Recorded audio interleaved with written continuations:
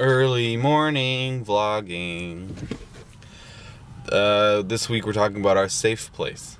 And the only place that I feel safe recently, maybe oddly, is in my car. Uh, I'm not moving right now. Hopefully, you guys can tell that. I'm not just driving without any steering happening. Uh, yeah, so I do a lot of driving in between my two jobs.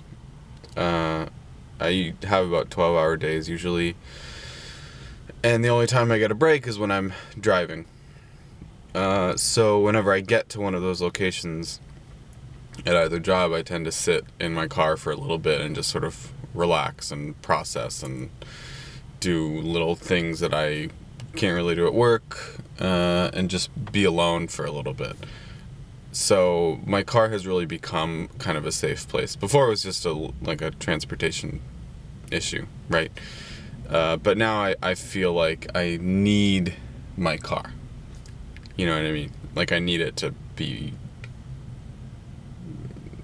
to to feel a little more safe in a way. Uh, but this is my spot where I tend to have the most thinking done as well. Uh, so yeah. Anyway, I'll talk to you guys next week. I gotta go to fucking work. Bye.